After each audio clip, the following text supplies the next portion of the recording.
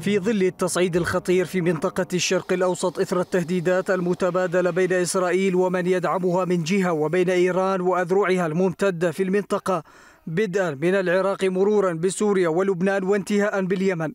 يظل شبح حرب شاملة ماثلا وحاضرا بقوة حتى في ظل التطمينات التي تطلقها واشنطن. الحرب على غزة وما أفرزته من تداعيات خطيرة إقليميا كانت المقدمة الأقوى للأزمة في الإقليم. أعقبها اغتيال إسماعيل هنية في العاصمة الإيرانية طهران والذي مثل الشرارة الأخطر التي قد تشعل حربا إقليمية لن يسلم من لظاها أحد. إذا طبول الحرب الشاملة تقرع. جيوش المتصارعين تحتشد.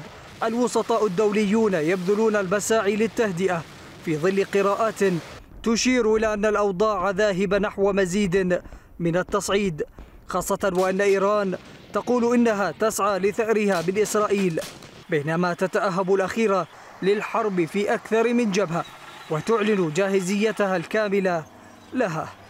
واشنطن أفصحت صراحة أنها لن تسمح بتهديد أمن حليفتها في الشرق الأوسط إسرائيل وأرسلت بوارجها البحرية إلى البحر الأحمر والخليج العربي وشرقي البحر الأبيض المتوسط تحسبا لهجوم شامل ومتزامن من مناطق متفرقة في المنطقة. في المقابل إيران أعطت أوامرها لأذرعها في اليمن ولبنان وسوريا والعراق بتوجيه ضربة شاملة ومتزامنة على أهداف عسكرية إسرائيلية حساسة. كما أعلنت أن المصالح الأمريكية ستكون ضمن بنك أهدافها في حال صدت هجومها على إسرائيل. مجلس الأمن الدولي عجز عن احتواء الصراع رغم دعواته المتكررة للتهدئة وضبط النفس. إذا الحرب قائمة لا محالة وإطلاق الرصاصة الأولى مسألة وقت ووقت قصير جدا لا أكثر.